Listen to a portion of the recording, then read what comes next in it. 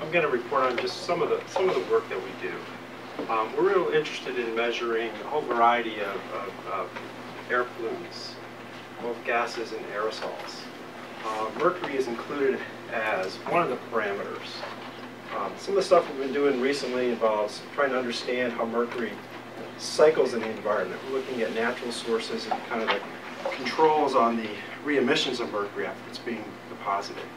Uh, but today what I'm going to focus in on are just the, uh, the trends in, uh, in atmospheric mercury. We're going to talk about the emission sources. Uh, we're going to talk about how those sources have changed over time. And we're going to look at the relationships between the changes in the emissions and both wet and dry deposition. Um, I don't really have long-term records of dry deposition, um, so I'm going to look at ambient air concentrations as a surrogate for dry deposition. If I were to organize this talk around a key question or an objective, um, what I want to show you today is how these reduction in emissions from power plants have influenced or not influenced the wet and dry deposition. It's really a simple. Uh, I took a very simple approach to pull this together. I took existing data uh, from power plant emissions that you can get in the EPA uh, database, and I just compared the emission patterns very simply to both the wet and dry deposition patterns for collection sites in western Maryland for, uh, for wet deposition and atmospheric mercury speciation, and uh, other sites in Maryland for the wet deposition uh, portion of this. So here we are um, at our site, Frostburg. Uh, our lab's in Frostburg. Uh, you go over about seven miles going to Garrett County, and you'll see our atmospheric monitoring station up there. Um, it is at the is at our drinking water supply, the Piney Creek Reservoir. Um, it's a great place to study mercury, as you can see why. Our research site is right here. We're surrounded by huge sources of mercury. Okay, um, if you look at the red circles, the larger the circle, the greater the source. Um, the red circles indicate the coal-fired power plants that release mercury into the atmosphere. Each of these are the mercury sources in kilograms per year. And these were from data uh, around uh, the year 2000.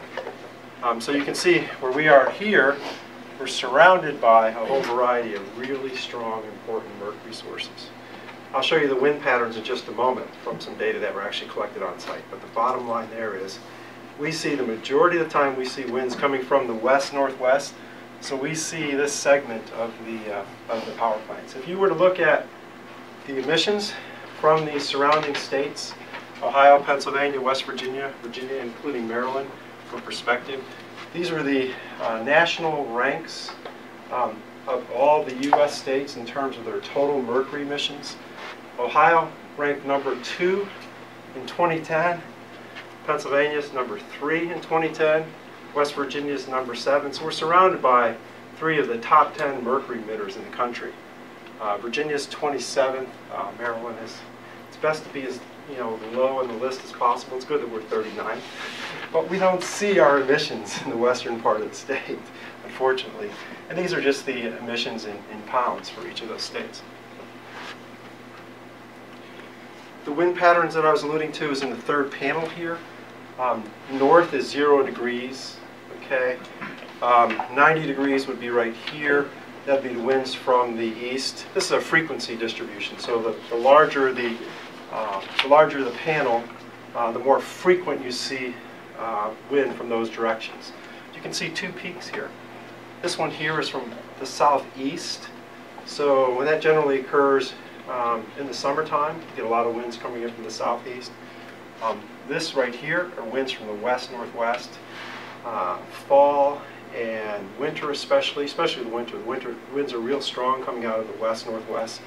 So we'll see these pollutants being transported into our area because we're downwind of those major sources. We noticed this back when we started making these measurements. Our data set goes back to 2005 for the atmospheric mercury species.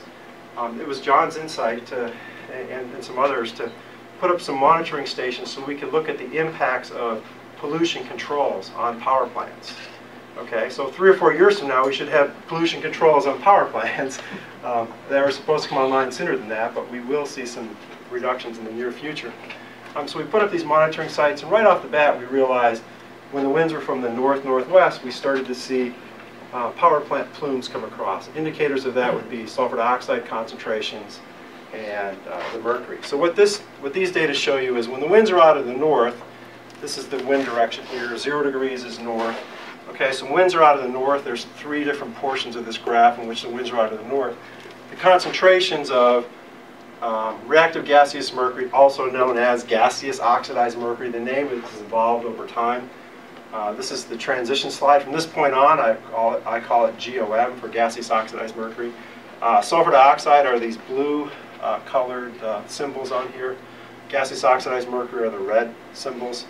So when the winds are out of the north, low concentrations of gaseous oxidized mercury and sulfur dioxide. Okay?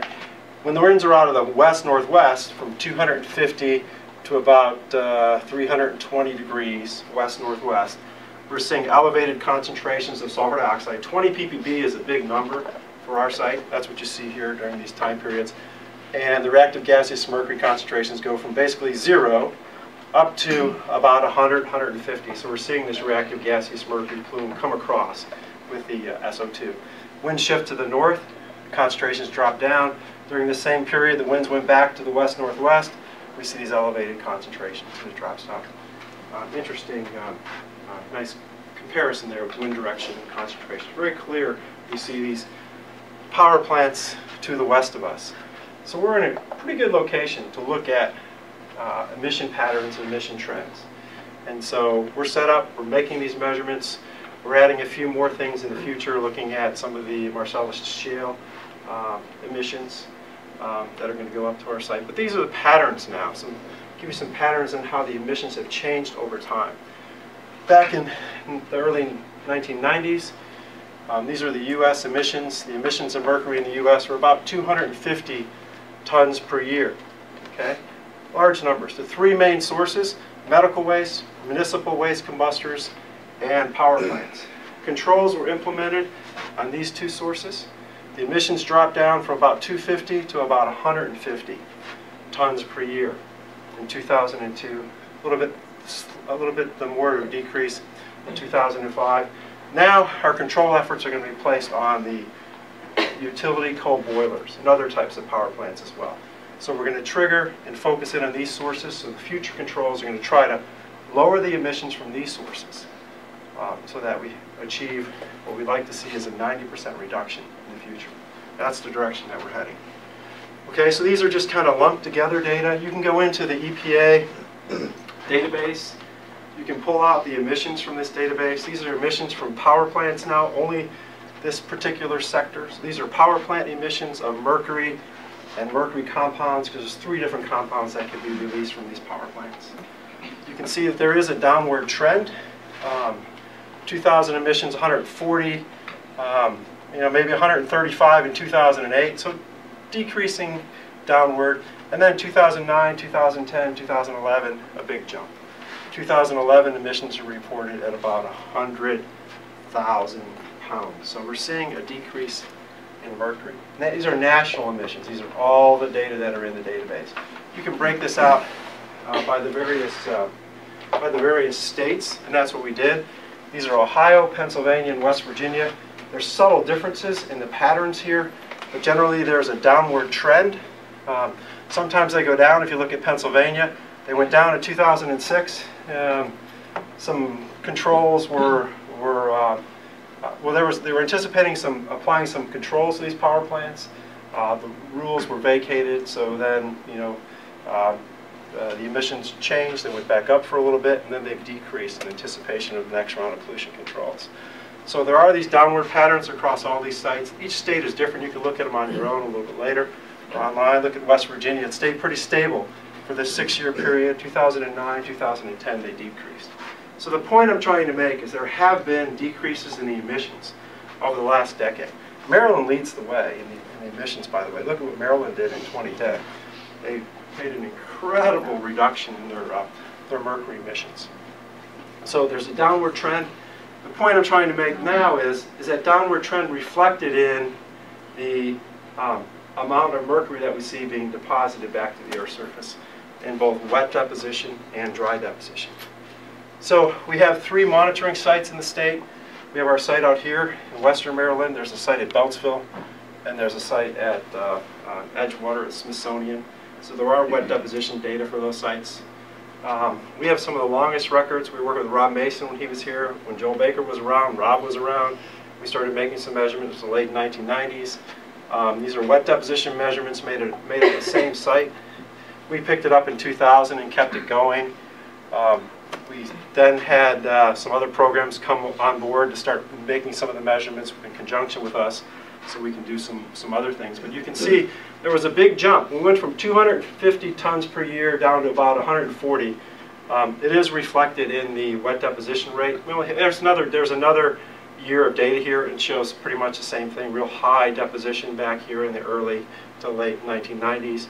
And then things have decreased quite a bit over this last 10-year period, but not a clear downward trend. You know, things are bouncing around a little bit. Maybe the last few years, you're starting to see some low years interspersed with some high years, but not a real clear downward trend like I showed you in the um, emission patterns.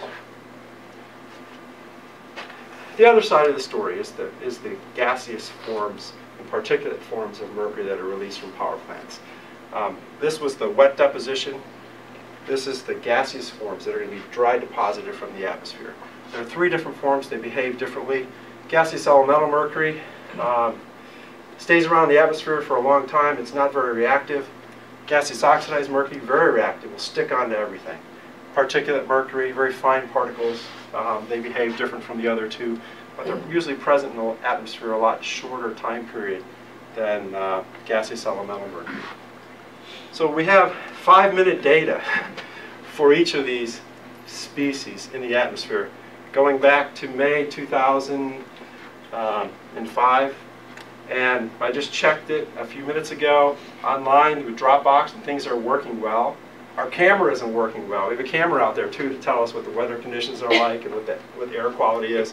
But every five minutes since 2005, I've been collecting data. We've been collecting, but mostly me, so I'm very busy collecting these data. Nothing changes except for the seasonal patterns.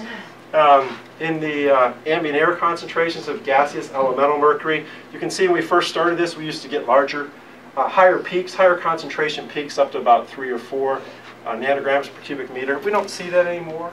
We see the same seasonal patterns, and we're actually working on trying to explain some of these seasonal patterns. Um, this is the gaseous oxidized mercury, real sticky form of mercury, real high peaks to begin with, um, you know, up to three, 400 uh, concentrations in picograms per cubic meter. We still see these peaks from time to time. The last couple of years, we don't see these really large peaks anymore. So those big peaks are still gone. We still see elevated concentrations of gaseous oxidized mercury. Maybe it's maybe even a little clearer here what's happening over the last few years. We don't have these really large peaks anymore and the particulate mercury concentrations. Things may have settled down a little bit. Concentrations um, are actually, on average, the concentrations are quite a bit lower right now than they were when we, well, when we first started this, these measurements. The orange bars here are the gaseous oxidized mercury annual averages, 2006 through 2011. The blue bars are the particulate mercury. So I showed you here 2006 was actually our lowest average year.